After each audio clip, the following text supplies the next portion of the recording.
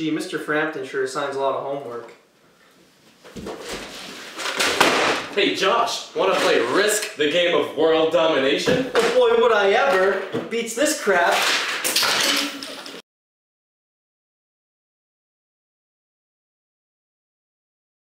Come on, David, deal those cards. Oh, Jesus! Alright, I get Germany and... Hey, what's this? You get every other country? I only get Germany? Yeah, Josh, that's the role of the banker. Ever played this game before? Hey there, fellas. Are you playing Risk, the game of world domination? More or less. Wow, my son really sucks at this game. You're grounded. and we only started. That's not fair. David cheated. That's it. You're double grounded. I'm canceling Christmas. But Dad, I can cancel Hanukkah and Kwanzaa too, Josh. but we don't celebrate those. No, Josh. I'm canceling all of it. No Christmas for anyone, and it's your fault. Well, that escalated quickly. This reminds me of when I was growing up during World War II. Do you guys know much about World War II? Not a whole lot. It began with Germany's government being taken over by a man named Adolf Hitler and his Nazi party. Gee, Dad, you think we've been living under a rock? Josh! Sorry, sorry. Please continue. Well, Hitler was a very ambitious man and began invading his neighboring countries, one of the first to fall to Germany's vast military was Poland on September the 1st, 1939.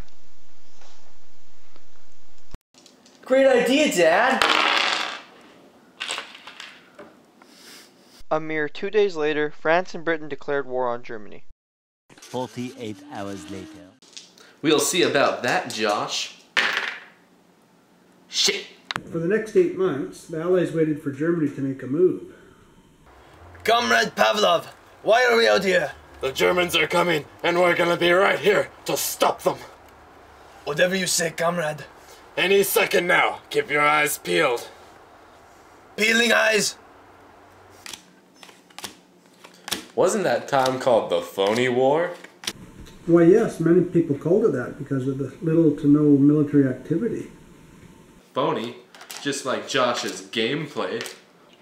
What's this, David? You come into my home and you attack me with your words. That hurts. The Phony Wars, eh? Or as the French say, Le Sitzkrieg.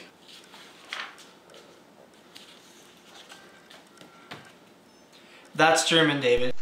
Then the day came, April the 9th, 1940. Germans invaded Denmark and Norway. Denmark surrendered in about two hours. Norway, on the other hand, resisted for two months, before surrendering to the overwhelming invasion, thus becoming under Nazi rule. There was a Norwegian military officer and politician at the time by the name of Vidkun Quisling. He was very involved in the Norwegian Nazi government and good friends with Hitler himself, even sharing Nazi ideals and partaking in the Holocaust. He founded the Norwegian puppet government known as the Quisling regime and assumed the role of Minister President of Norway from 1942 to 1945. Isn't a Quiznos someone who collaborates with an enemy occupying force? No, that's a sandwich. Is it a Quinzling? That's a piece of meat between two pieces of bread. Damn it, David, that's still a sandwich. Isn't a Quinzling somebody who collaborates with an enemy occupying force? Why, yes, David, that term was coined after Vidkun Quisling and his actions of betrayal. Just like lasagna betrays me, you guys talk about your Sitz Creek. I got a Shit's Creek. The battle only lasted three months, until Norway became under complete Nazi control. Their forces spread. Just after one day of bombing in Rotterdam, the Netherlands surrendered. Soon after it was Belgium who surrendered to the Nazis with little to no fight. The German territory grew. well, I had a bad start to this game, but soon all of Europe will be mine. We'll see about that, Josh. France and Britain demonstrated their decision to end appeasement and aid Poland. But the democracies didn't do anything to help the Polish in any material way. During this time of non-counterinsurgency, morale was low, the blackouts, the rationing of food, the evacuation of children far away from home, the closing of places of entertainment all became irritations. New emergency laws and protocols passed by the government were incorporated in everyday life. These all sapped the moral strength of both the people and the army. Sap, just like Josh's gameplay. What's his problem? Why is he doing this to me? He's just hurting my feelings. It wasn't just the procrastination of the Allies that caused the phony war, but the Germans didn't want to rush things either. Many German generals thought that they weren't ready for war and hoped that war would just wither away.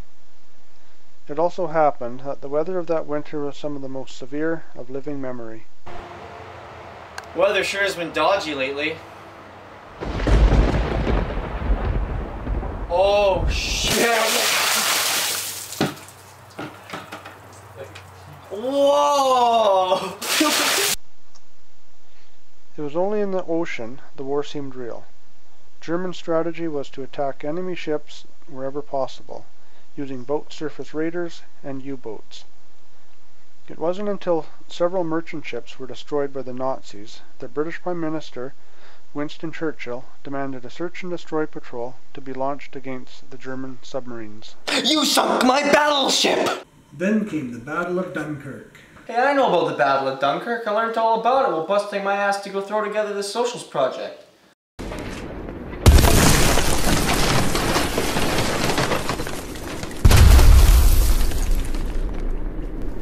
On May 10, 1940, German forces quickly took Belgium and France. Soon after arriving in France, German tanks had reached the English Channel. One of the field commanders for the Nazi German army in this siege was Erwin Rommel, commander of the 7th Panzer Battalion. Rommel would later become to be known as the Desert Fox for his successes in the North Africa campaign. Desert fox? Like the North African fennec fox? Let me see that. So you're saying that the feared German military commander is a cute animal with big ears? Well, that's too bad, Josh, because did you know the fennec fox has such precise hearing that it can hear the heartbeats of small insects underneath the desert sand? The Allied forces were soon surrounded in the French port of Dunkirk. The Battle of Dunkirk was the defense and evacuation of the British and Allied forces. Evacuation? Does Josh have to use the bathroom again? The Allies had escaped before the Germans captured the town. Upon learning the Allied plan, the British Navy rounded up every boat capable of navigating the English Channel. Hundreds of fishing boats, pleasure craft, and ferries joined the naval and merchant ships as they headed across the Channel for the beaches of Dunkirk. Two days later, the German Air Force bombed the port of Dunkirk, making the escape by the Allies even more difficult.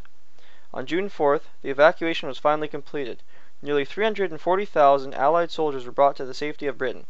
The German army continued its sweep through France. The French army was no match for the powerful German troop. On June 22, 1940, northern France surrendered now with the Nazi collaborator Philippe Pétain as the premier of the new French state. Don't forget, Josh, I worked on this project too. And this new occupied part of France was called Vichy France, led by Philippe Pétain in 1940 to 1944.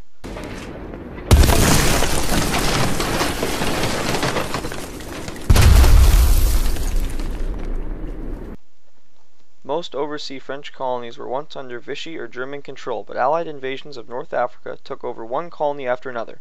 In London in September 1941, Charles de Gaulle, leader of the Southern Free France, formed the Free French National Council, with himself as president. It was an all-encompassing coalition of resistance forces.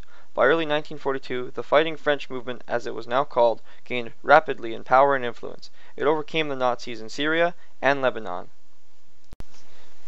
Actually, resistance movements during World War II occurred in every occupied country by a variety of means, ranging from non-cooperation, disinformation, and propaganda, to hiding crash pilots, and to even outright warfare and the recapturing of towns.